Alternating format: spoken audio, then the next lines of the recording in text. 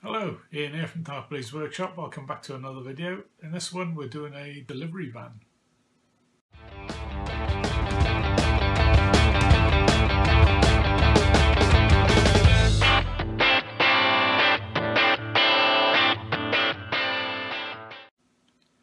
Okay, so in this one we've uh, taken a ordinary die-cast car, 143 scale, and we've turned it into Mr. Kowalski's bakery delivery van. So we'll go through it uh, stage by stage.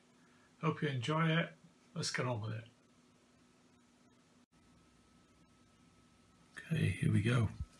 Starting off life as a Colman's mustard van. It's a 143 scale um, car that I picked up off eBay and uh, it's a Model T Ford so it's, it's, around about the same era. Two pounds eight pence. So you can pick them up cheap as chips.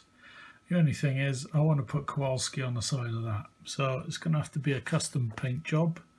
Um, scale wise that's Miss Rosier there. So it's pretty good. It's about, um, it's only a little bit out, but that's the, the closest scale that you can get to, you know, Knight Model stuff. Um, they use 143 scale uh, Batmobiles and stuff like that, and they fit in just fine. So, um, what I did, first stage was obviously take it out of the box, but then I gave it a coat of um, Testors Dull Coat. So it's got a nice matte finish on it. So it's taken away that sheen of the metal you know, that you get on uh, brand new um, toy cars. So I'm going to spray it brown and the livery is going to be brown and cream. Um, so we do the lettering in cream and obviously the body of the uh, the van's going to be in brown. I'm going to bring back that to uh, a metal colour as well along with the, the window screen frame and we'll put a bit of gloss on the lights as well but everything else is going to be brown, roof's going to stay black. So I shall get the airbrush prepped and ready to go. I'm not going to take it apart because they're rivets. Um, I can't, I don't want to break the rivets because I won't be able to glue it back together again. Uh, I know they used to make um, model cars with little screws and you could take the base plates off, but they must have changed the process somewhere along the line. So there's no way of disassembling it. I'm going to have to paint it as is. So let's fire up the airbrush and get started. Okay, so put a bit of flow improver in, uh, one drop of flow improver, but six drops of Armour Brown by Vallejo, and one drop of um, thinner, because it's already a model air colour. Didn't want to dilute it too much. And we'll do nice even cuts until we get a decent coverage and get rid of the lettering.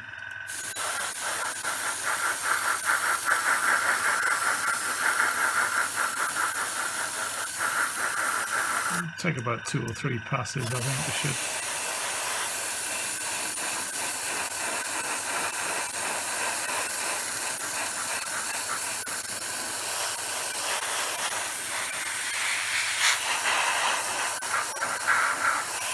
Uh, we'll carry on with that off camera and we'll come back when it's uh, it's got a nice even coverage.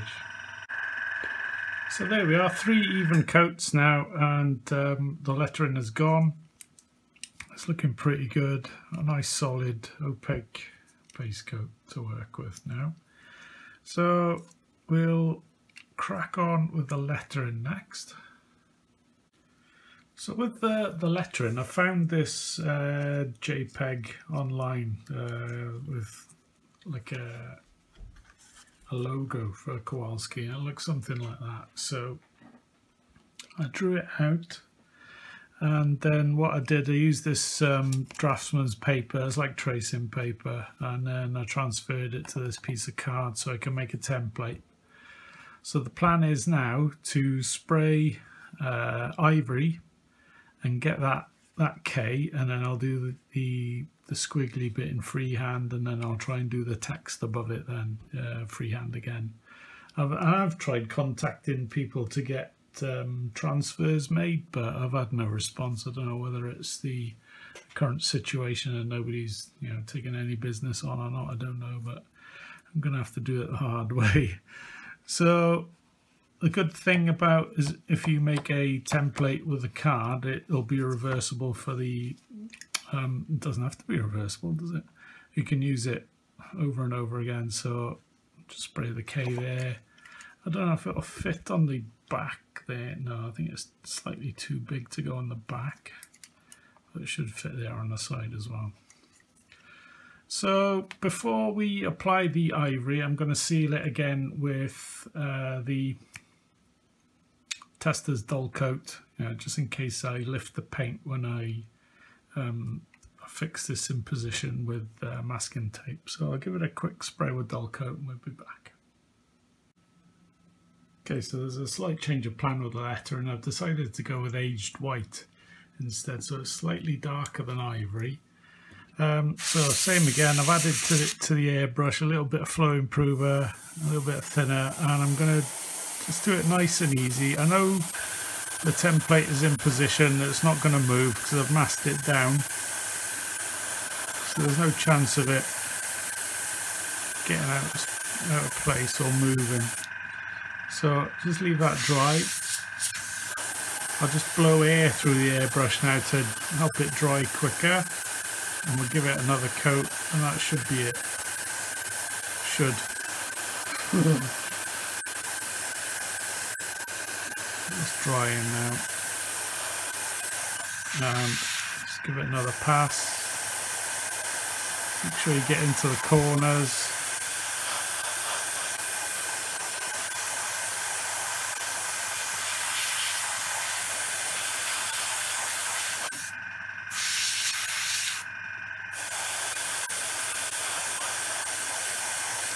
That's good. I think we'll leave it there.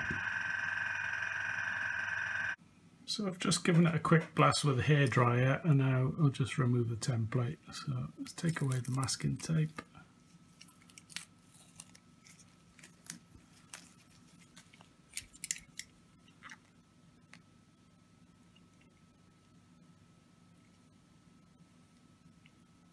See what I mean about the paint lifting? I didn't spray that bit. Uh, okay, so that gives us a good one to work with. So we've got the outline of the K. It's just working with um, the Armour Brown now to fine up the edges, make sure they're nice and sharp and put a little void in between the two struts of the K and then doing the swirl at the bottom. So that's pretty good, pretty good start. I think I need to dull coat the, the top of the wagon as well, otherwise I'm going to lose all the paint. But that's good to start. Okay, a good bit about keeping the tracing paper is when the, the aged white is dry, you can apply that over the top and then do the outline of the inside of the K with your pencil. So this line here, like it's like a heart shape. Do that, and then I did the squiggle to give me a, a rough idea of where the outline is going to go. You can just make that out. Let's see the squiggle there, and I'm going to fill this in with the Armour Brown now. So I've applied the Armour Brown. Keep that handy. I've applied the Armour Brown uh, to the palette. Uh, I've done exactly the same mixture as I use for the airbrush. So it was a drop of flow improver and a drop of thinner. And I'm just going to apply that. It'll probably take a couple of coats. Just remember you can move the van around. Don't keep in the, don't um,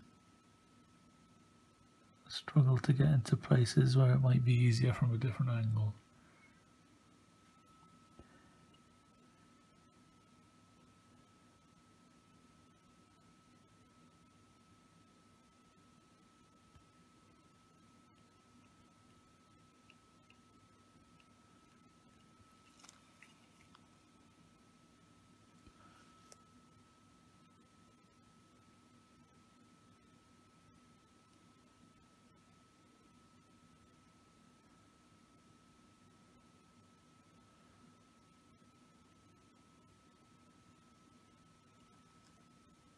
While I'm here, I'm going to go around the outside of the the K just to make sure it's got a solid line and there's no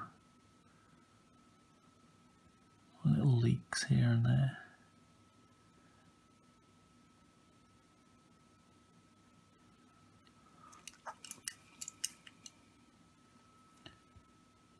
You see there's a little fade at the bottom of this one if I zoom. A little fade around the outside of it. Just want to get rid of that now with the Armour Brown.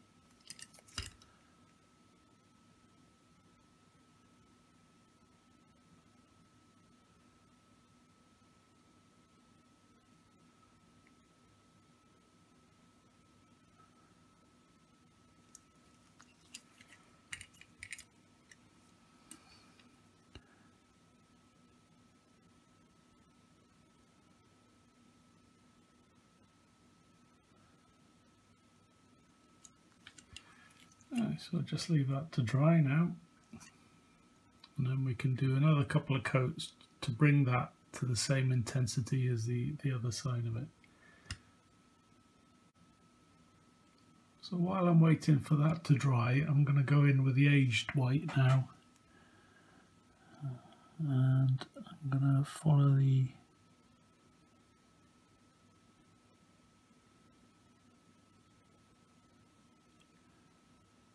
the outline of the swirl. I was going to take my time on this.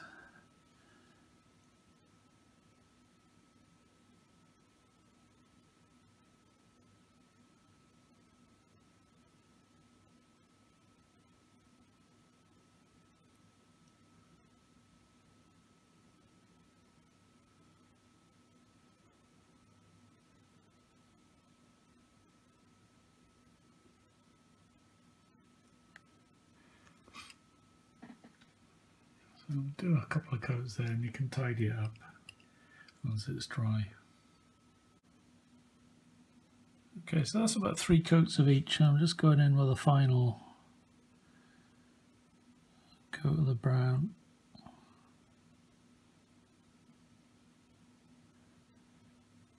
Just to fill it out.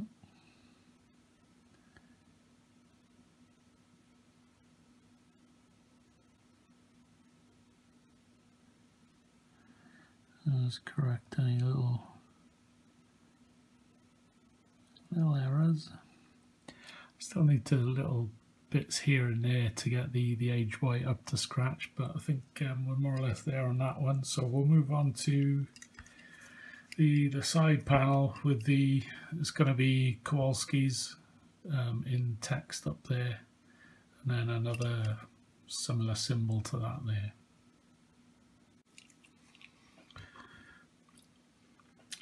So that side's done, the back is done. Um, I just need to show you now how we do the lettering. So if you remember we got to that stage and um, we used the, the tracing paper to mark out that area and then put in the squiggle. We're going to do exactly the same for the lettering. So I'll find my bit of tracing paper and I'll find a bit of masking tape. And what I'll do I'll fit it over the piece that we've used the um, stencil to do the K. And that keeps the lettering in place. It's slightly skewed there isn't it? So make sure you get it level with the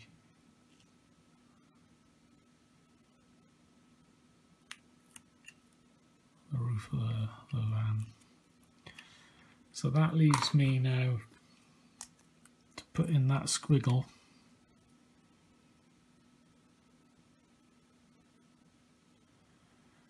we'll use that as an outline.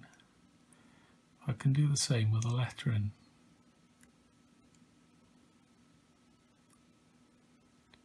So this gives us a guide and all you need to do then is just to flesh it out.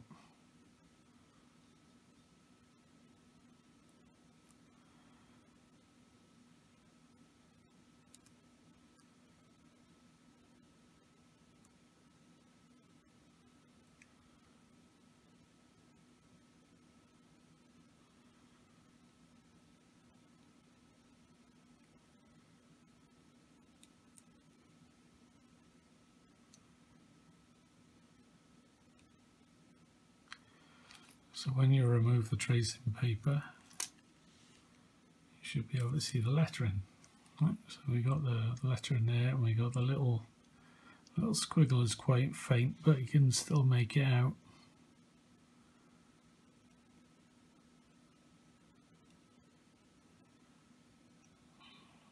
I've gone a bit wider than I wanted to, but it's, it's more or less there. So that's how we do the lettering. So um, I'm going to get the aged white ready and we'll do a couple of lines just to show you. So I've got the aged white and just going to start with the, the lettering so you can see what I'm doing. I'm just using the tip of my brush to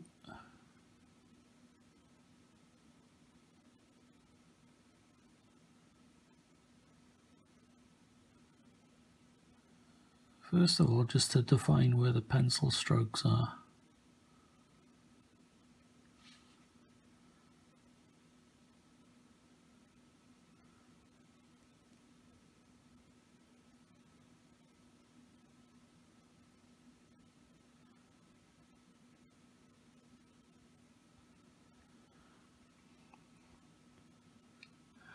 And then I'll start thinking about fleshing them out a bit by just making the lines a bit thicker and then you do that just by pressing down just a little bit more on your brush.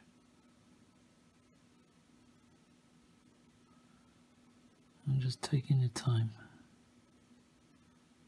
This is a size 1 Winsor Newton Series 7. I'm just using the tip of the brush you don't have to get a size 5 0 um,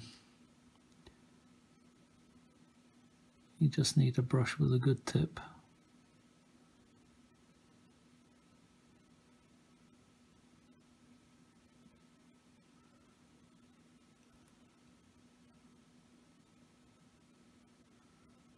Or a good point I should say. And if you do veer off it's easy enough to use the uh, armour brown then and just define the outline then. Remember you can move the van into positions where it makes your brush stroke easier. So I just like coming down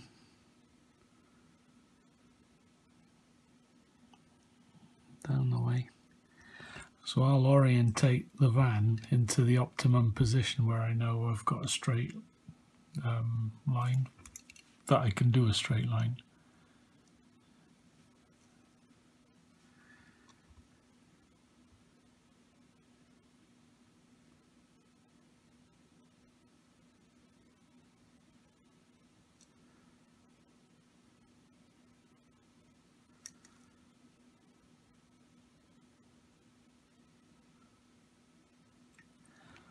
So basically that's all there is to it really.